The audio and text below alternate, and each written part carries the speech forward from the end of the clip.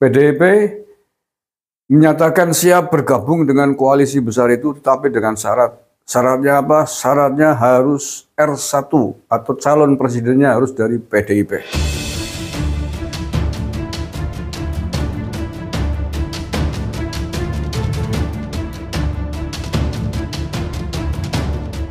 Assalamualaikum warahmatullahi wabarakatuh. Saudara-saudaraku sebangsa setanah air yang saya cintai, saya banggakan. Kembali dengan saya Agus Mar dari lereng Gunung Selamet di Banyumas, Jawa Tengah. Hari ini hari Kamis malam, tanggal 6 April 2023. PDIP atau PDI Perjuangan merespon tentang koalisi besar yang dibangun antara uh, gabungan koalisi KIB, Koalisi Indonesia Bersatu dengan Koalisi Indonesia Raya. PDIP menyatakan siap bergabung dengan koalisi besar itu tapi dengan syarat. Syaratnya apa? Syaratnya harus R1 atau calon presidennya harus dari PDIP. ya sama ya, sama-sama sih gelem ya. tapi menurut saya eh, ini adalah syarat yang tidak logis, tidak masuk akal. Nah ya, uh, logika politiknya dari mana kan nggak masuk. PDIP suara prosentasenya berapa hanya sekitar 20. Nah, sementara gabungan lima partai politik ini kan jauh lebih besar. Maka justru yang memberikan syarat, yang mengajukan syarat mestinya adalah KIB, KIB dan uh, Koalisi Indonesia Raya. PDIP boleh bergabung dengan koalisi besar ini tetapi syaratnya harus ikut dan patuh dengan keputusan bersama. Jangan memaksakan diri. Mestinya begitu, karena suaranya kan lebih besar, lebih banyak. nah, apalagi syarat yang diajukan oleh PDIP ini adalah uh, harus capresnya harus dari PDIP. Loh ya kalau begitu namanya ya bukan syarat lagi. Ya siapa? PDIP. Lah kalau kemudian PDIP mensyaratkan begitu, R1-nya tuh siapa? Calon presidennya siapa? Ayo, Ganjar atau Puan Maharani. Ganjar eh, imbas dari hiruk pikuk gagalnya Piala Dunia akibat statement-statement menolak Israel dan sejumlah elemen politisi PDP yang lain termasuk Gubernur Koster. Saya kira udah eh, kannya elektabilitasnya sudah drop sangat jauh lah ya menurut saya sudah sudah tidak seperti kemarin sebelum kasus ini. Ya kalau kemarin memang seluruh survei uh, menempatkan Ganjar di posisi teratas dibanding yang lain Prabowo dan Anies. Tapi hari ini polisinya sudah berbalik. Polisi politik sudah berbalik. Ganjar sudah drop sangat jauh, sudah turun sangat jauh. Seandainya pun ya, seandainya pun Ganjar yang diajukan menjadi R1, saya tidak yakin lima partai politik ini akan menerima. Karena kita sudah tahu bahwa lima parpol ini sudah punya calon presiden, yakni Ganjar apa eh, Prabowo Subianto. Yang belum disepakati memang R2-nya. Tapi eh, R1-nya sudah sudah tahu semua lah ya, karena sudah deklarasi Pak Prabowo capres kan begitu. nah, kalau kemudian PDIP meminta R1 dari mereka, R2-nya dari koalisi lima partai ini. Seandainya pun Prabowo mau gitu ya, seandainya Pak Prabowo mau, apakah yang lain mau? Empat parpol yang lain belum tentu. belum tentu. Ya karena tadi, karena e, nilai Ganjar Pranowo hari ini sudah berbeda dengan seminggu atau dua minggu yang lalu. Sudah, sudah, sudah bukan Ganjar yang dulu lagi. Nah kalau bukan Ganjar yang ditawarkan, nggak ada. Hari ini dalam konteks pencapresan, cago terkuat dari kubu PDP ya hanya Ganjar Pranowo, ada yang lain. Yang kedua Puan yang memang se, se apa sedemikian rupa kemarin-kemarin diajukan menjadi calon presiden. Tapi kan eh, apa namanya hasil surveinya sangat rendah, sangat rendah. Saya kira tidak mungkin lagi. Ganjar pun saya kira ditolak, apalagi Puan Maharani.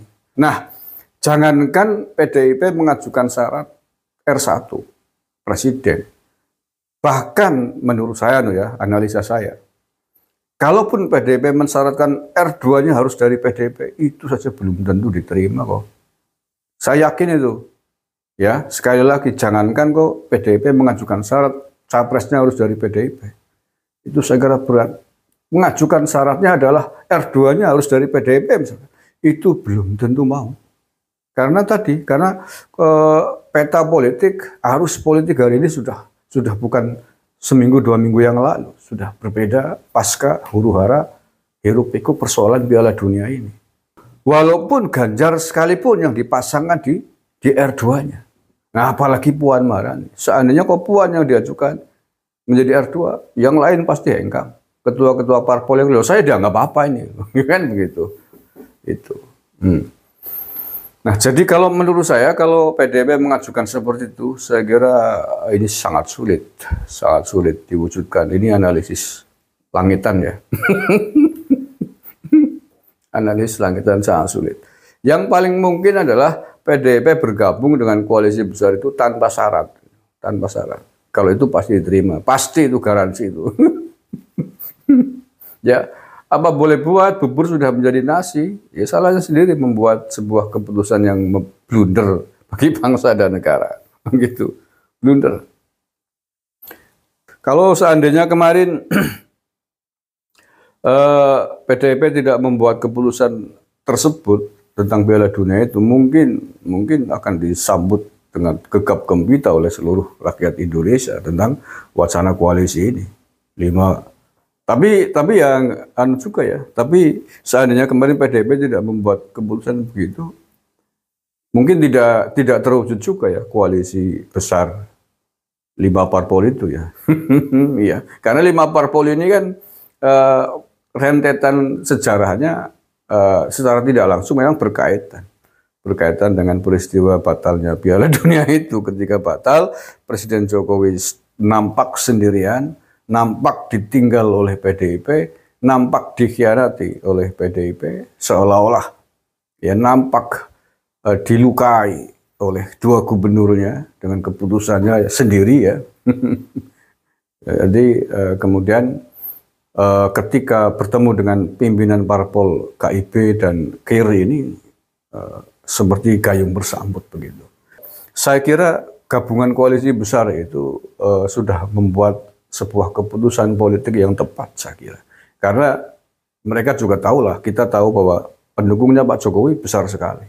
Pak Jokowi punya pendukung yang sangat besar sampai hari ini. Walaupun tidak diwadahi di parpol, tidak diwadahi dalam partai politik. Tetapi suara saya menurut Pak D, apa kata Pak Jokowi itu sampai hari ini masih berhamburan menghiasi media sosial kita. Nah bah, bahkan kemudian eh, baik KIB maupun KIR juga menyatakan hal yang sama.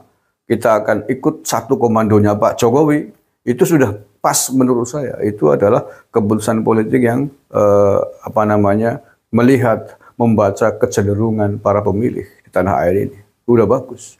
Nah, kalau kemudian seperti itu kondisinya ikut apa yang akan menjadi komandonya Pak Jokowi, maka mungkinkah Pak Jokowi akan memberikan keputusan R1-nya Ganjar Pranowo sebagaimana atau Puan sebagaimana PDIP ingin?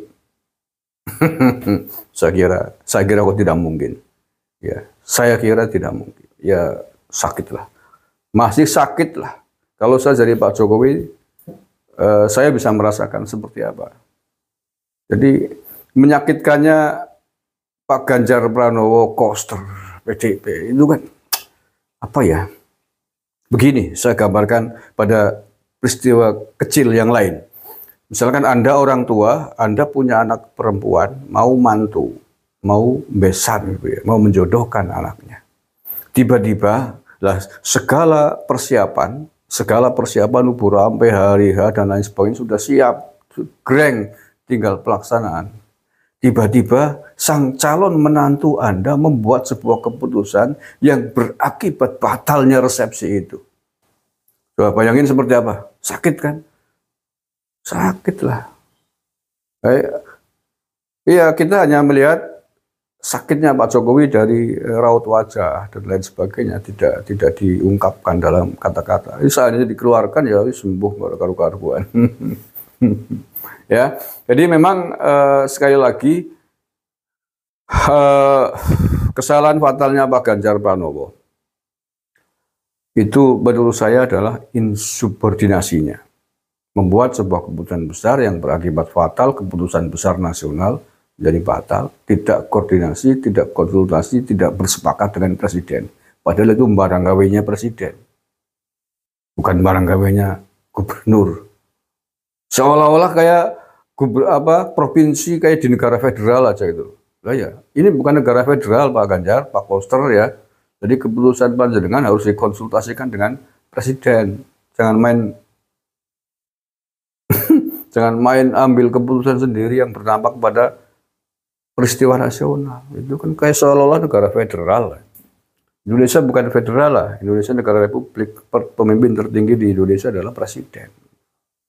Menurut saya itu yang paling fatal, yang susah di apa ya, susah diampuni lah, susah diterima kesalahannya Pak Ganjar adalah insubordinasinya dengan presiden.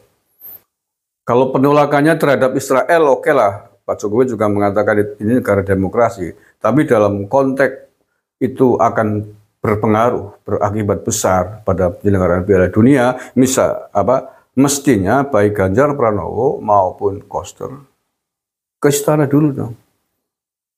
Menemui soan Pak Presiden, Pak Presiden ini begini, ada begini-begini. Bagaimana ini? Mestinya begitu sebagai gubernur. Lah setelah itu nanti diputuskan bersama seandainya kemudian membuat sebuah keputusan tolak Israel setelah bertemu dengan presiden setelah berkonsultasi dengan presiden dan seluruh elemen yang akan terkait dikeluarkanlah sebagai sebuah pernyataan resmi negara bukan pernyataan pribadi gubernur. Itu menurut saya yang paling tidak bisa diterima insubordinasinya itu loh. Nelikung tuh melangkai presiden bajuk cara wong Banyumas. Itu ya. Oke itu saja saya kira berita politik terkini terkait dengan PDIP yang menyatakan oke okay, siap bergabung dengan koalisi besar KIP dan KIR, tapi syaratnya harus minta jatah R1. Yang menurut saya syarat yang uh, ngoyoworo gitu ya. ngayawara. Syarat yang menurut saya hampir impossible saya kira. Terima kasih, kurang lebihnya mohon maaf. Bila taufiq walidayah waridaya. Assalamualaikum warahmatullahi wabarakatuh. NKRI harga mati.